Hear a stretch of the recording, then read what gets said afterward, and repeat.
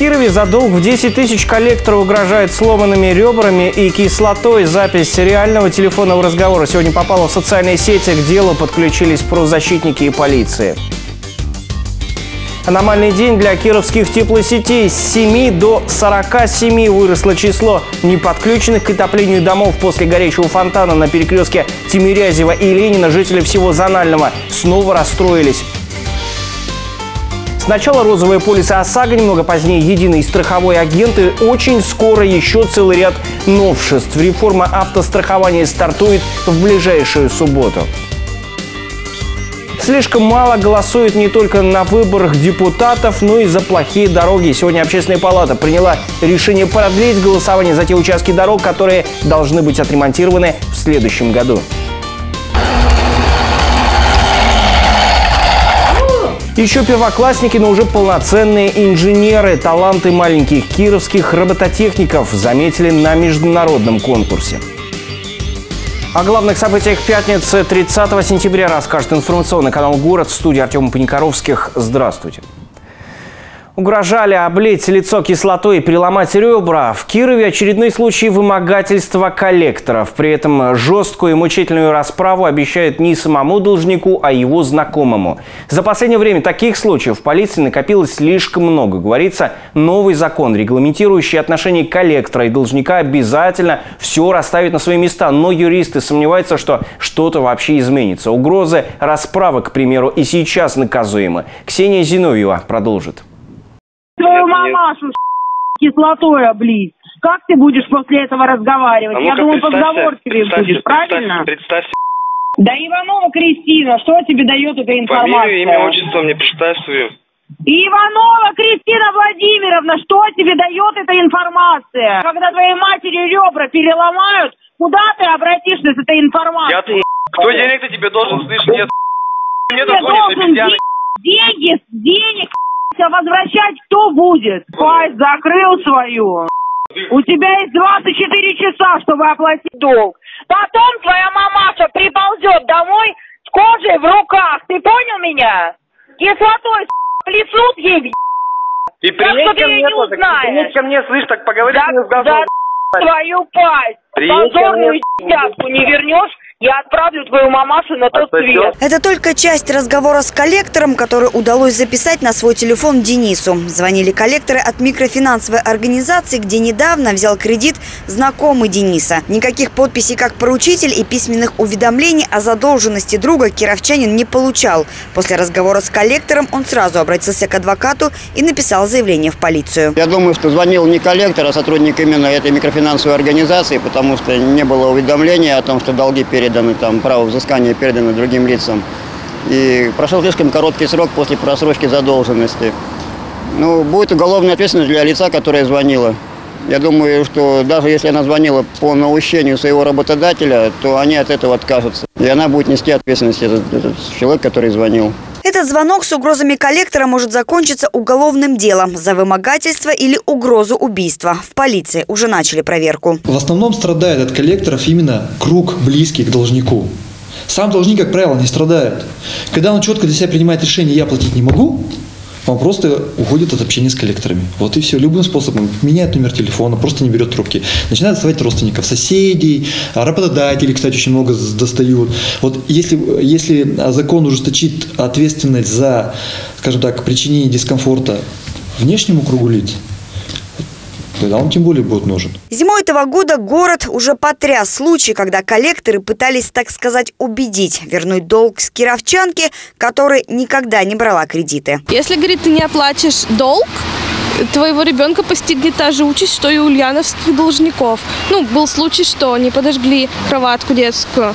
Но я реально испугалась, потому что, ну, действительно, они такие люди, что они могут сделать что угодно. В то время действительно по всей стране гремели шокирующие истории. В Ульяновске после встречи с коллекторами чуть не погиб двухлетний малыш. В окно прилетела бутылка с зажигательной смесью. Ребенок получил ожог 70% тела. Семье из Саратова неизвестные сначала обещали устную расправу, а потом устроили настоящую перестрелку. Все из-за трех тысяч рублей, взятых в микрофинансовой организации. И он начал стрелять.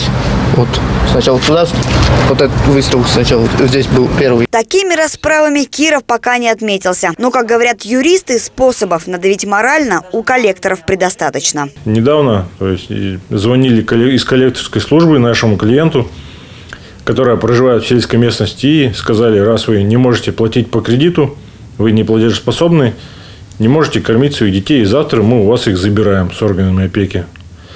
Ну, женщина, конечно же, у нас была под впечатлением, плакала и позвонила нам, и долго нам пришлось объяснять, что это не соответствует действительности. Очень впечатлительны на вот эти уловки, это такие страшилки коллекторов, э, люди пожилого возраста. И у нас очень часто наши клиенты именно пожилого возраста, веря вот этим словам, что мы завтра выезжаем к вам, никуда не выходить, будем описывать ваше имущество. Это они звонят и плачут. Я сижу дома, второй день не могу сходить в магазин за хлебушком, потому что мне сказали, не выходить из дома, приедут описывать мой дом. По словам адвокатов и юристов, кировчане практически ежедневно сталкиваются с угрозами от коллекторов. Много заявлений рассматривают и в полиции. Связывают это с тем, что новый закон, запрещающий коллекторам настойчиво звонить и угрожать, вступает в силу с 1 января 2017 года. И у банков есть всего несколько месяцев, чтобы вернуть долги любым способом. В новом законе строго прописано, что кредитор или представляющая его коллекторская организация может общаться с должником лишь тремя возможными способами. При встрече с помощью телефона, электронных или почтовых сообщений. Строго ограничено время звонков должнику, запрещается шантажировать, угрожать, оскорблять и применять силу к заемщику. Но сегодня юристы сомневаются, что закон, которого так долго ждали, пойдет на пользу должникам. В настоящее время коллекторы у нас всегда, в общем-то, звонят с телефона телефонов, которые не идентифицируются. То есть при проверке полиции либо иными органами невозможно установить либо собственность данного телефона, либо телефон этот оформлен на лиц, либо, так скажем, без определенного места жительства, либо какие-то технические служебные номера, которые не позволяют идентифицировать пользователя. То есть количество звонков и угроз, я не думаю, что у нас будет меньше. Юристы говорят, что отучить коллекторов угрожать и оскорблять больше поможет не столько новый закон, сколько сами кировчане и главное правило – не молчать. После таких звонков, которые удалось записать кировчанину Денису, юристы советуют незамедлительно писать заявление в полицию, даже если телефонный разговор не был записан. Практика показывает, иначе коллекторы могут перейти от слов к делу. Ксения Зиновьева, Иван Деров. Информационный канал «Город». Начало отопительного сезона для некоторых кировчан снова переносится на несколько дней. Сегодня, в пятницу, теплоснабжающей организации пришлось отключить дома в районе Зонального института. И еще около сотни домов в других районах города остаются без отопления по вине управляющих компаний. Из 127 отключенных от отопления домов около 40 без отопления по вине теплоснабжающей компании. С проблемами остальных никак не могут справиться управляющие компании. КТК даже направила в адрес главы администрации Александра Перескокова письмо. Всего 34%, то есть одна треть э, жилого фонда это, это ответственность управляющих компаний, э, готова полностью, то есть провела все необходимые регламентные работы и опрессовку, и промывку системы внутридомовой. Все остальные, э, к сожалению, те или иные нормативы не выполнили, большая часть не выполнила там, ни одного. Из-за такого отношения управляющей компании зимой без отопления горячей воды могут остаться целые районы города. Пока же сегодня от отопления горячей воды снова отключат район зонального института. В воскресенье специалисты обещают включить этот район уже не через резервную магистраль, а по новой теплотрассе. Также сегодня без отопления из-за дефектов на сетях остались некоторые дома на улицах Некрасова, Красина, Маршала Конева и Комсомольской. Их специалисты обещают устранить в течение суток.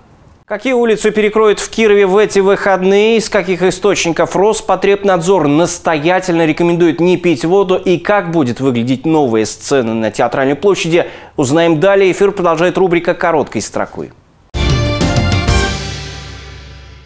Из-за бегунов в воскресенье будут перекрыты центральные улицы города. На время соревнований с 9 до 12 часов нельзя будет проехать по части Октябрьского проспекта, улицы Московской и Дерендяева. Иначе будет ходить и общественный транспорт. Изменятся маршруты движения 12 автобусов и троллейбусов номер 3, 8, 14 Специалисты Роспотребнадзора не рекомендуют кировчанам пить воду из родника у Трифонова монастыря. В ней обнаружили завышенное содержание кремния и нитратов. Микробиологические показатели также не соответствуют нормам. С опаской эксперты призывают отнестись и к воде из других родников, в частности у диорамы в районе профилактория Авитек и нового моста через Вятку.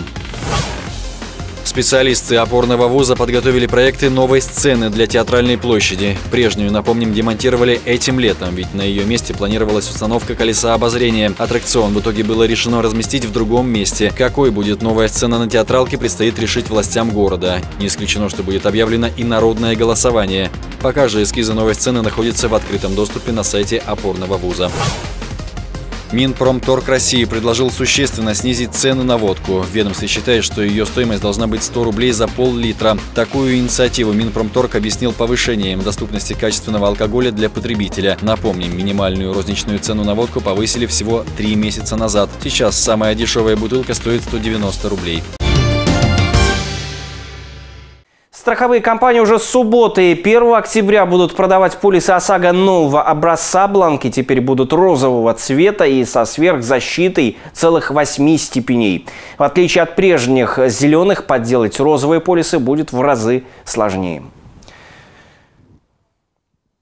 В прошлом году россияне купили около миллиона липовых бланков. Сообщается, что новые печатают по той же технологии, что и денежные купюры. И теперь, прогнозируют специалисты, чтобы научиться делать фальшивку, максимально похожей на оригинальный документ, мошенникам понадобится минимум года три. С 1 октября все полисы должны быть розовые, новые. Вам никто не имеет права продать зеленый полис. Если вам продают зеленый полис, это серьезное нарушение законодательства. Полис недействительный. Тем, кто уже приобрел страховку, можно не волноваться. Все старые полисы будут действовать в течение года. Добавим, со следующей недели в области запускается проект единого страхового агента. Теперь, придя в офис крупнейшего страховщика за полисом, автовладельцу придется сыграть в рулетку. Компанию, с которой придется заключить договор, выберет компьютер из 70 возможных вариантов. Практически все зарегистрированы и находятся за пределами Кировской области. Из наших страховщиков подключиться к проекту единого страхового агента согласился лишь самый крупный. Остальные страховые компании продолжают работу без изменений. Впереди вас ждет короткая реклама, она пройдет быстро. Не переключайтесь и смотрите во второй части нашего выпуска. Слишком мало голосует и не только на выборах депутатов, но и за плохие дороги. Сегодня Общественная палата приняла решение продлить голосование за те участки дорог, которые должны быть отремонтированы в следующем году. Самые резонансные происшествия за последние сутки в специальном обзоре наших коллег из проекта «Место происшествия». Еще первоклассники, но уже полноценные инженеры, таланты маленьких кировских робототехников заметили на международном конкурсе. Эти другие новости уже через несколько минут.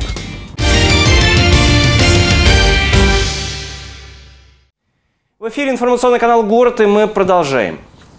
Кирове за нападение с ножом на мужа осудили 32-летнюю Ксению Барбарину. Преступление произошло в коммунальной квартире на улице Павла Корчагина. Пьяная женщина не выдержала оскорблений 24-летнего супруга, схватила нож и порезала его. К счастью, молодой человек остался жив. Подробности этого и других происшествий в рубрике «Место происшествия». Напоминаем, что материал имеет возрастное ограничение 12+. Преступление произошло в июне этого года. Осужденная Ксения и ее соседка по коммуналке собирались идти на пляж. Вместе с ними хотел пойти и супруг Ксении Юрий, но женщины его с собой не взяли. На пляже Барбарина вместе с соседкой купалась и пила водку. В 9 часов вечера она вернулась домой пьяная. Муж устроил скандал. Начала его тыкать. Он защищался. Ранение у мужчины оказалось не смертельным. В суде Барбарина свою вину признала. Ее приговорили к двум с половиной годам лишения свободы в колонии общего режима. Также ей нужно будет заплатить штраф в 15 тысяч рублей. Приговор не вступил в законную силу. В Афанасьевском районе в результате ДТП перевернулся внедорожник. В него врезался водитель Форда «Фокус». По информации ГИБДД, авария произошла утром 29 сентября на 250-м километре трассы Киров-Пермь. Водитель Форда «Фокус» хотел повернуть с прилегающей на главную дорогу и не пропустил Ниву «Шевроле». После удара внедорожник вылетел с трассы и в кювете перевернулся. В итоге в этом ДТП чудом никто не пострадал. Водителям теперь предстоит серьезный ремонт. Оставленная на капоте бутылка пива может закончиться лишением прав для водителя Митсубиси на улице Попова. Впрочем, все началось на улице Сурикова. Там активисты ночного патруля увидели, как мужчина сначала поставил бутылку из-под пива на капот Лансера, затем он несколько раз безуспешно пытался завести двигатель авто. Общественники решили проследить за подозрительным автолюбителем и на всякий случай позвонили в дежурную часть. Позже инспекторы задержали водителя и выявили у него признаки опьянения. При выдохе должен идти сигнал. Давайте. Давайте. Сильно дуть-то, да? Не очень сильно, Сильно, средней но интенсивности, продолжительно. но продолжительно. Во, дуйте, дуйте, дуйте. Все, достаточно. Сколько допускается? Значит, у нас погрешность установлена э, 0,16. В вашем случае 0,442 тысячных миллиграмма на литр выдыхаем воздуха. Александр согласился с результатом экспертизы и расписался в протоколах. Сейчас он готовится к лишению прав и штрафу в 30 тысяч рублей. С каких улиц начать ремонт в 2017-м народные голосования за самые убитые участки кировских дорог продлили на месяц. Сейчас свой голос на сайте общественной палаты оставили 3000 человек. Общественники считают, что этого слишком мало. Чтобы выразить свое мнение, достаточно зайти на сайт Общественной палаты области. Там в разделе «Контроль и ремонт дорог» перейти в раздел «Выбирай дороги для ремонта». В списке все улицы как Кирова, так и области. Итоги голосования общественники передадут в администрацию и дорожный комитет. Пока в тройке лидеров проспект Строителей, улица Комсомольская и Жуковского. Голоса принимают до 1 ноября. Робот-экскаватор, умный паровоз и автоматизированная мешалка из Лего. Кировские школьники самостоятельно построили автоматизированный мини-завод по производству стройматериалов. Реальные кирпичи он пока не производит, а вот награды уже получил. Кировчане стали вторыми в мире чемпионами по робототехнике. Первоклассники уже вернулись домой с наградами и рассказали нашему корреспонденту Юлии Косолаповой секрет своего научного проекта. Второй мотор служит для того, чтобы поднимать и опускать ковш. Простой с виду конструктор Лего, несколько моторчиков, провода и компьютер. За час первоклассник Петя создал самый настоящий экскаватор. Эта уменьшенная версия может передвигаться по столу, перевозить и перемещать грузы. Его напарник по проекту Клим ушел еще дальше. Вместе со своими родителями он смастерил бетономешалку. Наша бетономешалка работает так. Мотор крутит ось и лопасти. Так получается перемешивание. Туда нужно загружать цемент, воду, химикаты и щепу. И из него получается арболит. Работы Петра и Клима не для игр, а для научной работы. В прошлом году школьники ходили на экскурсию на завод по производству арболита. Вдохновившись увиденным, мальчишки решили создать свой завод по производству стройматериалов. По словам юных авторов проекта, управлять такой конструкцией очень просто. Для этого есть такой небольшой пульт. Вот вперед, назад. Всего четыре кнопки. А столько действий. На этой небольшой пластмассовой фабрике есть все. Сотрудники, станки для смешивания материалов, фасовка, железная дорога и поезд для пересылки товара. Школьники даже приготовили инструкцию, как завод должен работать. Первый этап – подготовка материалов. Второй этап – транспортировка в цех. Третий этап – перемешивание в бетономешалке. Четвертый этап – формовка, утрамбовка материалов. Пятый этап – первичная и вторичная сушка. Шестой этап – погрузка и упаковка материала с помощью погрузчика. Этот проект, пусть и новый, но уже принес юным исследователям звание мировых чемпионов. Петр и Клим представили нашу область на фестивале по робототехнике «Робофинист». Для членов жюри кировчане устроили целое шоу. Кирпич арболита сверлили, поджигали, топили в воде, сравнивали с камнем и деревом. Не осталась без внимания сама система работы завода. Писали программу вместе с детьми, конечно. Ну, и приходилось им помогать. То есть здесь не просто какое-то программирование, здесь уже идет обмен сообщениями. Вот программа выглядит таким образом. То есть вот видите, здесь даже значок такой письма, и здесь значок то, что письмо получают. Вот как раз здесь идет уже процесс обмена сообщениями. По словам куратора проекта, данная работа в перспективе обрастет новыми движениями и роботами. В планах этих маленьких робототехников, которые привезли Кирову второе место, создать завод, связанный с фермерством. Но что это будет, пока большая тайна. Юлия Косолапова, Александр Рожков, информационный канал «Город». И в завершении выпуска прогноз погоды на завтра с ним вас познакомит Алина Мозгова. Если птицы не спешат с перелетом, а береза еще не потеряла своих листьев, значит зима придет не скоро и снега долго не будет.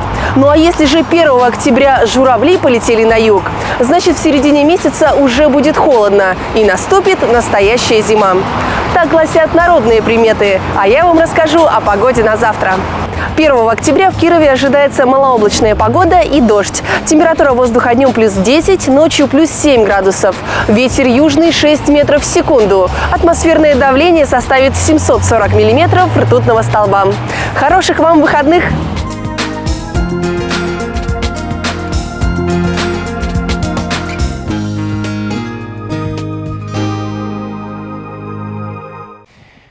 Такой была эта пятница, 30 сентября. Если у вас есть новости, звоните в редакцию информационного канала «Город» по телефону 54 18 19.